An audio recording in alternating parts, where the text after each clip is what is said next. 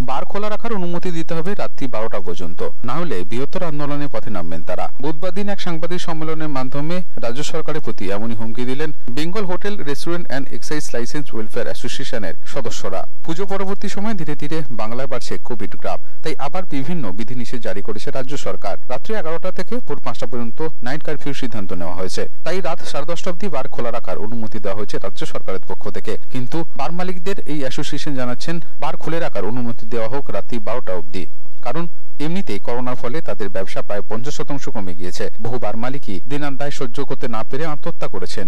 এমনকি বার চালাতে গিয়ে তাদের কোটি কোটি টাকা ঋণও করতে হচ্ছে। পাশাপাশি বারের লাইসেন্স ফিও এক ধাক্কায় পঞ্চাশ হাজার টাকা থেকে বাড়িয়ে পাঁচ লক্ষ টাকা করা হয়েছে। এরই প্রতিবাদ জানাতে এক সাংবাদিক সম্মেলনের আয়োজন করেছিলেন তারা। বার মালিকদের পক্ষ থেকে জানানো হয়, অবিলম্বে লাইসেন্স ফি মুকুব করতে হবে এবং রাত্রি বারোটা অবধি বার খুলে রাখার অনুমতি দিতে হবে। নহলে বৃহত্তর আন্দোলনের পথে যাবেন তারা। কারণ রাত্রি বারোটা অবধি বার খুলতে না দেওয়া হলে তাদের লোকসানের পরিমাণ ক্রমশ বেড়েই চলেছে। সেই সঙ্গে বারোটার সঙ্গে যুক্ত থাকা সিঙ্গার বাউন্সার এমনকি যারা খাবার পরিবেশন করেন, তাদের প্রত্যেকের অবস্থাই আজ শোচনীয়। রাজ্য সরকার বার মালিকদের সঙ্গে কথা না বলে নিজের মতো করে বিভিন্ন নির্দেশ তাদের উপরে চাপিয়ে দিচ্ছে বলে অভিযোগ তোলেন তারা। ফার্স্ট এবং ফরমোস্ট হচ্ছে আমাদের যেটা ন্যাচারাল টাইমিং অপারেশন টাইম ছিল সকাল এগারোটা থেকে রাত্রি বারোটা। এটা অবিলম্বে চালু করতে হবে। কারণ ম্যাক্সিমাম বার রেস্তোরাঁ যেগুলো আছে সেগুলো এলাকা ভিত্তিক। শুধু পার্ক স্ট্রিট, ধর্মতলা ধরলে তো হবে না। তো এলাকা ভিত্তিক জায়গাগুলো রাত্রির দশটা থেকে আর বারোটা, এই দু ঘন্টাই ব্যবসাটা হয়। তো সেই ব্যবসাটাই তো বন্ধ হয়ে যাচ্ছে। বন্ধই তো হয়ে যাচ্ছে দশটা। অর্থাৎ সাড়ে নটায় লাস্ট অর্ডার হচ্ছে। তো সুতরাং আমরা বিভৎস ক্ষতির মুখে, আমাদের পঞ্চাশ থেকে পঞ্চাশ শতাংশ ব্যবসা কমে গেছে। অথচ আমরা কোনো স্টাফকে বসাইনি সিঙ্গিং ন সিঙ্গিং সমস্ত স্টাফ চলছে। যারা no work no pay basis আছে, তাদেরও যেহেতু রেগুলার কাজ হচ্ছে না, আমাদের একটা নির্দিষ্ট টাকা দিতেই হচ্ছে।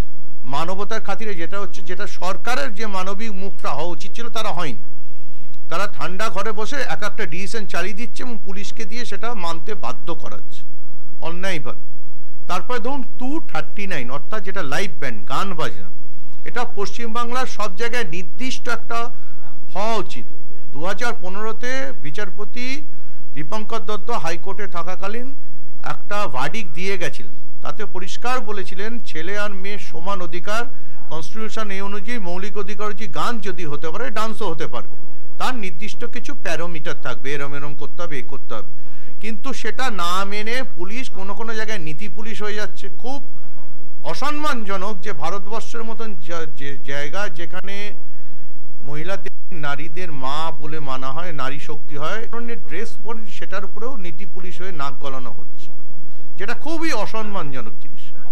এবং আপনি দেখুন বাগডি চত্বরে দু একজন বার মালিক কি করেছিল? তার জন্য বাকি বার মালিকরা কেন ভুগবে? পাঁচ বছর সেখানে গান বাজনা বন্ধ। এটার ফলে তারা যেখানে কোটি কোটি টাকা তারা ওখানে ইনভেস্ট করে বসেছিলেন, তারা রাস্তায় এসে গেছে। কত লোন নেব আমরা? লোন নিতে নিতে আমরা যে কর্নারে চলে গেছি, সেখান থেকে তো আমরা আর কিছু করতে পারছি না। রিনুয়াল ফিস অবিলম্বে কমাতে হয়। চার মাস, পাঁচ মাস কাজ করে কেউ পাঁচ লাখ কাউ দশ লাখ কাউ সাত লাখ, যার যেরকম আছে তাদের দিতে হচ্ছে। এটা তো অত্যাচার। আমরা সমাজমূলক, সেবামূলক যে কাজ সরকার করছে, আমরা নিজেরাও করি। কোভিড কালে প্রত্যেকটা বার মালিক গভর্নমেন্টের যত রকম রিলিফ ফান্ড আছে, সব জায়গায় আমরা টাকা পয়সা দিয়েছি এবং প্রত্যেকেই পাড়ায় পাড়ায় চাল, ডাল, কাপড় জামা দেওয়া সব করেছি। কিন্তু সেটা করার জন্য আমাদের যে রিসোর্সেসটা সেটা তো শেষ হয়ে গেছে।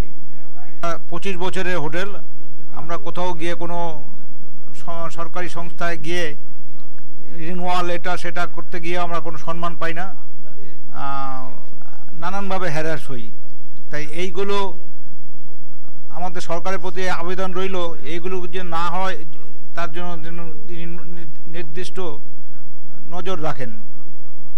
আর আমাদের সাড়ে চার বছর যাব হোটেল এই সমস্ত এখানে গান বাজনা, এটা সেটা সব বন্ধ।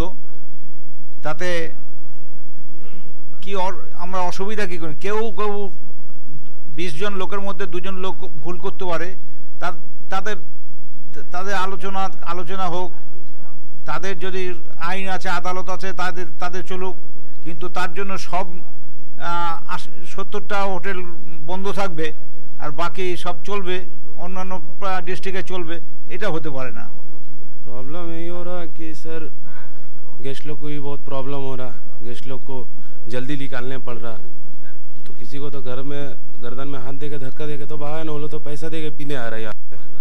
और पुलिस लोग बहुत आ रहा फ़ोटो कर रहा ये कर रहा धमका रहा है। हाँ रोज आ रहा रोज आके फ़ोटो ले जा रहा आप लोगों का क्या नो नो पे होता है? हाँ। तो जैसे कि आप लोग सपोज़ करो कि यहाँ पे पहले चार लोग काम करते थे अभी लोग भी कम हो गए हैं देखिए पहले हम लोग का बाउंसर यहाँ पे ज़्यादा था मगर अभी जैसे टाइम टाइम कम हो गया है तो लोग भी तो कम हो गया ना। वरना तो उतना चलाने भी नहीं सही है ना तो इसीलिए आप लोगों की तो फैमिली होती है हाँ हम लोग तो इसी के ऊपर निर्भर करते हैं हमारा दस फैमिली मेरा यहाँ पे निर्भर करता है इसका दस फैमिली इसका ऊपर निर्भर करता है अभी इसमें से कोई भी एक आदमी बैठ जाएगा तो वो कहाँ से करेगा ব্যাপারটা যে টাইমটা আপ ডাউন করছে প্রচণ্ড পরিমাণে এই আহ, সেই ক্ষেত্রে কাস্টমার আসতে খুবই প্রবলেম হচ্ছে কোনো সময় ফোন করে জিজ্ঞেস হচ্ছে কি ভাই কটা পর্যন্ত চলছে এই টাইম পর্যন্ত চললে আসতে পারবো না এই টাইম পর্যন্ত চললে আসতে পারবো তারপর কাস্টমারের সংখ্যা অনেক কমে গেছে তাই এটার উপরেই তো নির্ভর করে আমাদের সংসারটা।